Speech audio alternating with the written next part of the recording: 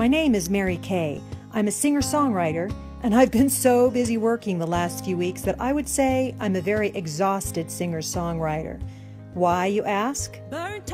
Well, just 24 hours earlier and 600 miles away, I found myself bumping down a red dirt road near Capitol Reef National Park, one of God's masterpieces of creation. I was going to be meeting up with some of the coolest women ever who were on a multi day ride with an outfit called The Cowgirl's Secret.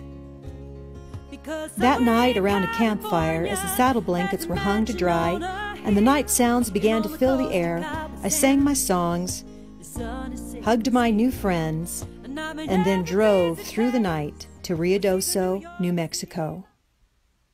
Ah! In God we trust. And they entwine.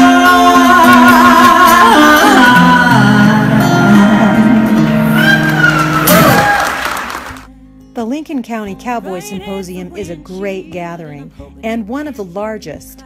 I would have to say it has the best shopping at any of the gatherings. In addition, there were mounted shooters, chuck wagons, horse clinics, and lots and lots of dancing. Every night for the big shows, cornmeal is sprinkled on the dance floor, which is a sure sign of some serious dancing. Brad and I felt grateful for a chance to just relax and have some fun. So we're listening right now to Mickey Gilley. He's on the big stage tonight. On a Saturday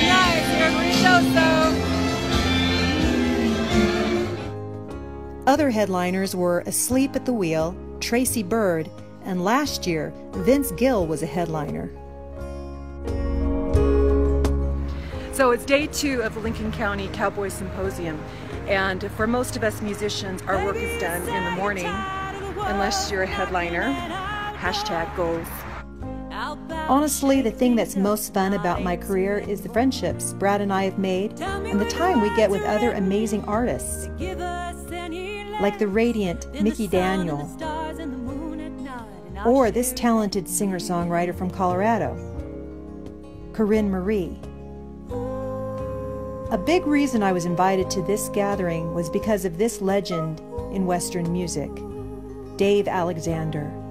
Dave is a musical hero to me, and so is this man, Don Edwards. Don is the quintessential cowboy troubadour. Just one man, six strings, and a slew of cowboy ballads. I loved seeing the connection between Don and his wife Kathy, reminding me that behind every crazy artist, there's a lot of love and support. And that's good, people, because artists like myself really appreciate all that love and support. Thanks, you guys. See the New York City lights, but I can hear your heart calling. It's the only kind of love song I can write. That's the only kind